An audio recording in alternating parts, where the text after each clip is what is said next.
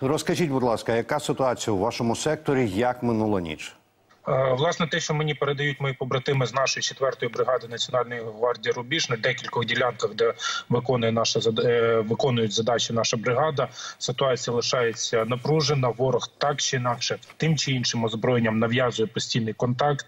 Відбувається бомбардування як керованими авіабомбами дальніх і ближніх тилів, так і застосуванням артилерійського озброєння, мінометів відповідно до калібрів.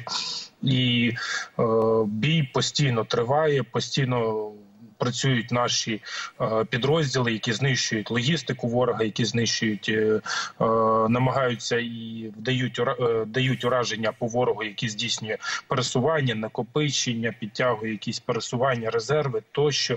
Тому постійно ворог проявляє активність і постійно наші побратими сили оборони загалом по всьому сходу дають йому відсіч. Пане Володимире, ми от просто зараз з вами ведемо збір на дрони на Мавіки, FPV. Розкажіть, будь ласка, наскільки ефективно воюють ці машини, аби мотивувати глядачів от просто зараз на донати?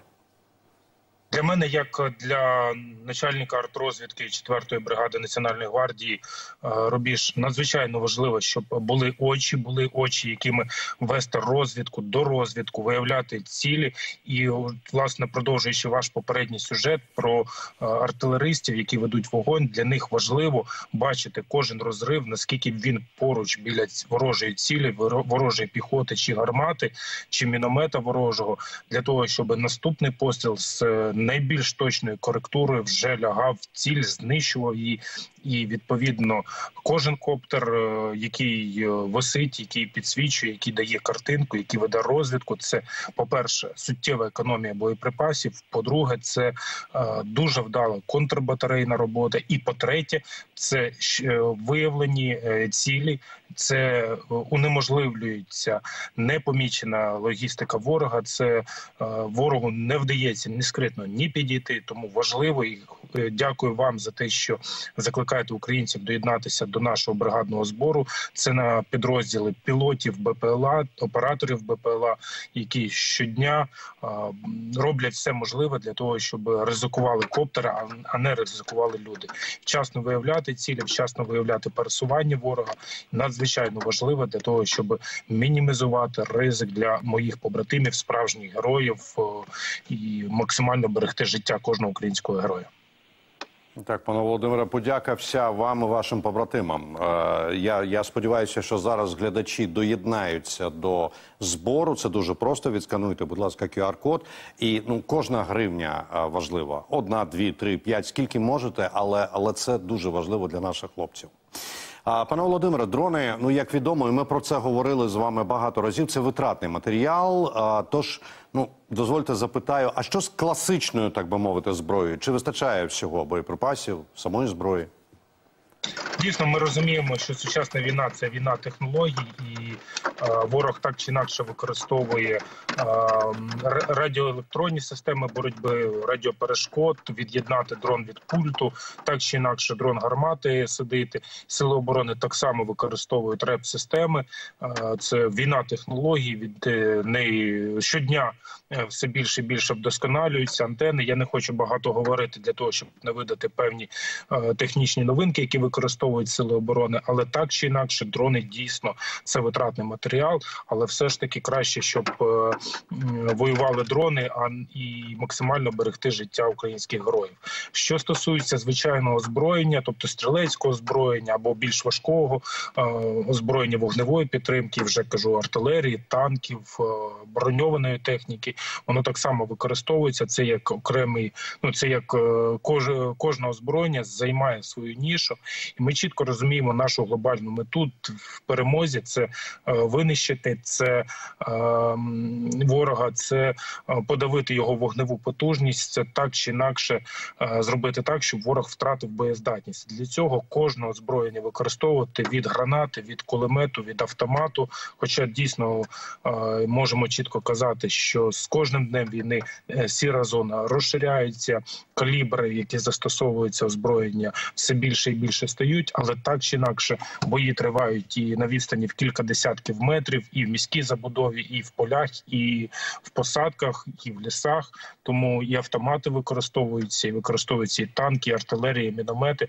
Кожне озброєння має своє призначення, має свої тактико-технічні характеристики, і вже грамотний офіцер, грамотний е, командир в тому чи іншому штабі, чи роти, чи батальйону, чи бригади дійсно приймає рішення, яким озброєнням е, відпрацьовувати ту чи іншу ціль. Але дійсно спільне е, найбільш ефективно виявляти ці цілі завдяки дронам для того, щоб е, спостерігачі найменше ризикували. Скажіть, будь ласка, а яку тактику, яку зброю, яку живу силу використовує зараз ворог? От кілька тижнів тому ви розповідали не лише ви, але ви в тому числі про штурм малими групами. Ворог довозив ці групи до наших позицій або на багі, або на мотоциклах. Чи змінилася ворожа тактика? Можливо, якісь новації ще з'явилися? Спільно е, ворог використовує абсолютно різну тактику від малих груп, е, але до великих броньованих угруповань, які пробують проривати е, ділянку фронтову в конкретному якомусь маленькому напрямку. Але спільне в цих всіх тактиках те, що ворог проводить артилерійську підготовку, бомбардує ближні дальні тили з використанням авіації, керованих, некерованих авіабомб, ракетних систем залпового вогню, типу ГРАД і більше. Е, мінометів, артилерії, далекобійної артилерії. Це спільне, що використовує ворог при будь-якій тактиці, але далі вже дійсно можуть бути і малі групи, тобто ворог е, може пробувати як скритно підійти, так е, в погану видимість, так і пробувати різко під'їхати на багі, на мотоциклах, на квадроциклах, на інших якихось там швидких транспортних засобах, так використовувати більше більше з'єднання там у вигляді взводу, декількох зводів дороти на легкій бронетехніці. І так само ворог на жаль використовує тактику в деяких місцях е, доволі несистемно е, з використанням і легкої бронетехніки, і тяжких танків е, для того, щоб створювати максимальний тиск. Але в більшості випадків так чи інакше, чим більше угруповання, знову ж таки, завдяки дронам, завдяки коптерам, завдяки БПЛА, чим більше накопичення ворога, тим раніше воно виявляється, тим е, раніше стають відомі плани ворога, і відповідно сили оборони роблять все можливе для того, щоб е, спроба штурму орка орків так і не почалась. Тобто вона була розбита ще на етапах накопичення, там де вони збираються, вибудовуються, накопичуються в той чи інший спосіб. А, Пане Володимире, на тепер вже зібрано 60 тисяч. І я зараз звернуся для, для до глядачів. Будь ласка, 60 тисяч це серйозна сума. Буквально за кілька хвилин. Ви чудові, неймовірні. Але, будь ласка, треба ще, тому що дрони коштують на 3 копійки. Але хочу підкреслити, що кожна гривня важлива. Навіть якщо ви переказуєте 5 гривень чи там 2, це теж падає в е, спільний збір. Згадайте. Панове глядачі, згадайте революцію гідності, згадайте початок повномасштабного вторгнення. Ми, українці, збирали величезні суми, і зараз це давайте теж зробимо. Я вам дякую за це, пане Володимире. Ще одне запитання: чи надходять до вашого підрозділу поповнення, які так необхідні?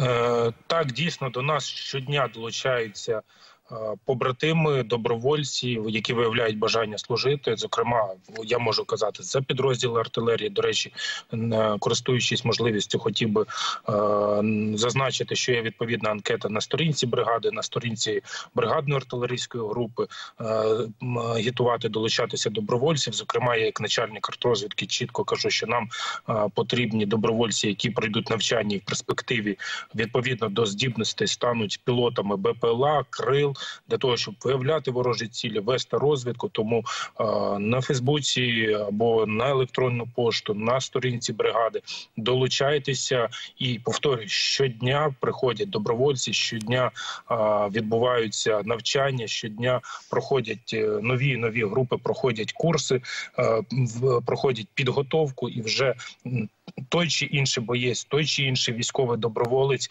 відповідно до його навичок, відповідно до його бажання.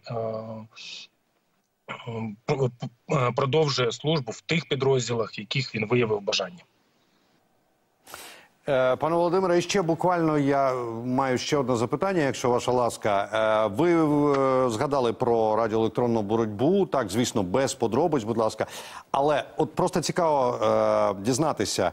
Ми бачили неодноразово, і ви розповідали, і ваші побратими з інших частин розповідали про ці а, сараї чи то бараки, оці танки посилені, значить, і засобами РЕП, і а, бронею. Е, Слухайте, як з ними боротися? Чи вдається це робити? Ми чітко розуміємо, що засоби радіоелектронної боротьби не можуть покрити в принципі всі частоти і всю всю все поле радіохвиль. І це йде постійна боротьба з спробою вгадати на яких частотах, е, ну якщо ми кажемо за сили оборони, на яких частотах працюють ворожі fpv ударні дрони, і на яких частотах їх глушити. Так само е, ворог експериментує, і наші пілоти, оператори БПЛА і fpv дронів е, чітко слід розуміють і знають. І це є хист е, пілота, навички пілота БПЛА для обманути е, ворожу реп-систему для того, щоб поразити ціль. Ці сараї вони.